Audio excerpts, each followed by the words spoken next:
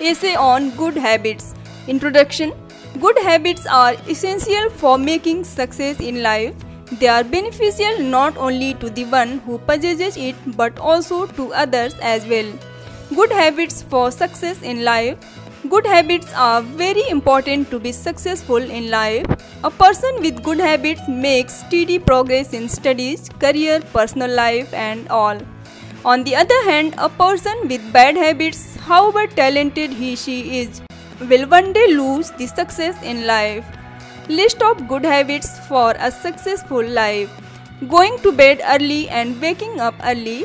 Always polite and considerate towards others being respectful to elders, teachers, and friends, spending time in a good company, constantly reading and learning, studying in a disciplined way.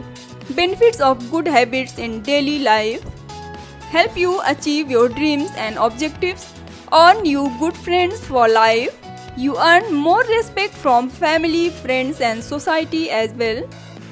Good habits improve the quality of your life you become more productive and gain success. You gain the trust of people who are ready to help you in need. Conclusion Good habits are very essential for making progress in everyday life and also for making success. If you have good habits and follow them every day, then there is nothing you should be worrying about. Thanks for watching. Please like, share and subscribe.